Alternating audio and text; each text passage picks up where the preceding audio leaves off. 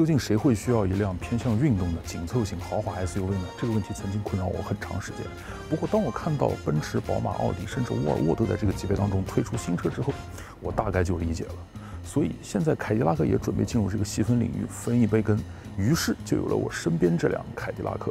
GT4。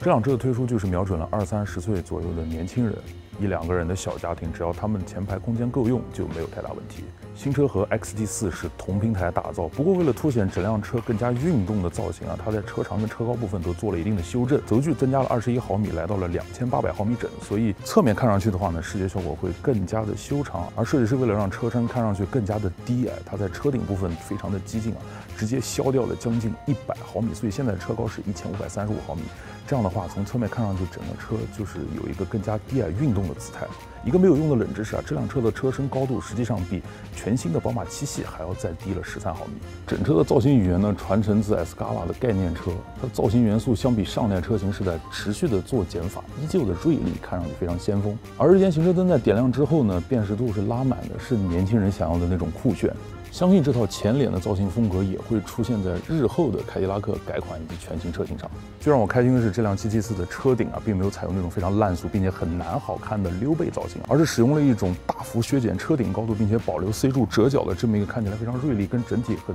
呼应的这么一个造型风格。而且最终效果也是非常的拔群。更夸张的车窗跟车高的比例，让这辆车的姿态看起来是非常运动的。新车的外观风格呢，其实分为两种，一个是我右手边的风尚版，还有一个是左手边的这个运动版。运动版车身为了凸显它的运动氛围啊，还特意配备了双色的车身以及整体黑化的饰条。并且整个车轮在采用十九英寸的设计之后，还在前轴单独配备了来自 Brembo 的四活塞卡钳，看起来是非常的战斗。其实，在外观部分只有一个想让我吐槽点，的就是后面这个双边四出的排气管，看着其实并没有那么高。就我觉得像风尚版那种双边单出、尺寸非常大的设计，其实看起来就很运动，看起来也很高级。坐进车内啊，这个氛围一下就高级了起来。向着 Lyric 瑞哥靠齐的座舱，实际上有更干净、更简洁的内饰设计，并且在高级感上也进一步提升。相比于同级别的竞品，我觉得也是比较领先的一个状态。我觉得整套内饰给我的吸引力还是非常充足的。全系标配的这个三十三英寸曲面屏非常的抢眼，整个屏幕的分辨率达到了九 K，并且它的色彩呢也是十比特，这样它的黑色更加深邃，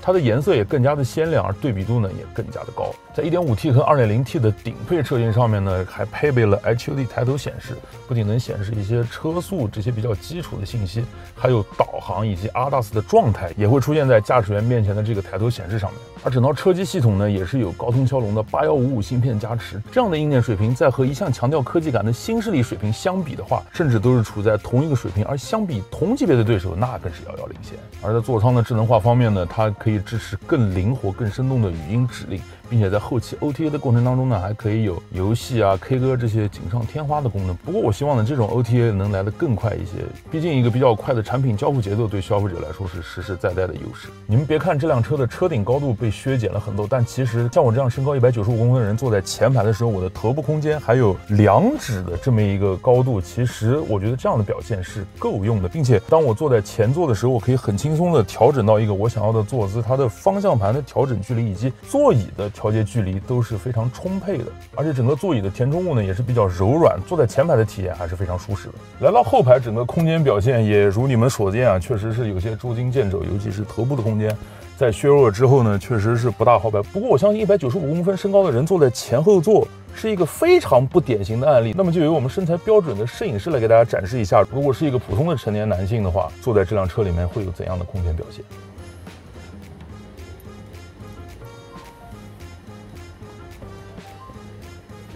所以刚刚我们身高一百七十三公分的摄影师坐到前排和后排体验之后，发现空间其实还是 OK 的。前排他调整好坐姿之后呢，其实后排腿部空间是两千有余，而头部空间则是三指。我觉得这么一个状况其实是比较合理的状态。而且值得一提的一点是，这辆车的坐垫长度其实是比较充裕的，能够给到摄影师的大腿有非常充足的衬托。其实整个后备箱的宽度和进深来讲，在这个级别还是一个比较平均的水准。只不过它的高度呢，实际上稍微受了一点影响。不过它的盖板下方呢，还留有一个比较扁。扁平的空间，可以把这个隔板放下去。所以，当你有一些需要装载比较大件、比较高的行李箱的这么一个需求的同时，这辆后备箱，我觉得还是可以比较妥帖的完成任务。G T 四上的这两具动力总成啊，其实我们非常的熟悉了。我身边这个运动版呢，配备的是一个 2.0T 的发动机，并且有48伏的轻混技术加持，最大功率是一百七十四千瓦。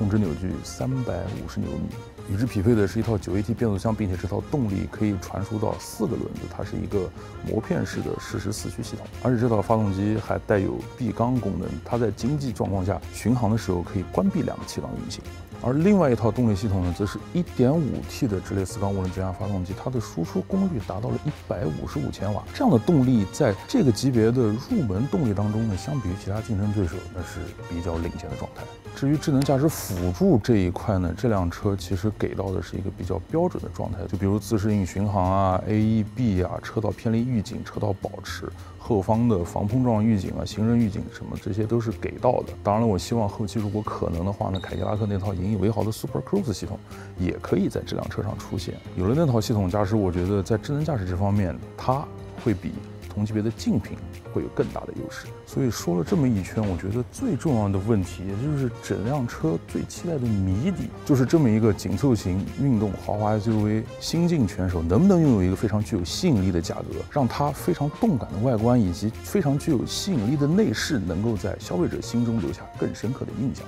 各位观众，你们会觉得这辆车卖多少钱可以打动你们呢？评论区下方走一波，我们下次节目见。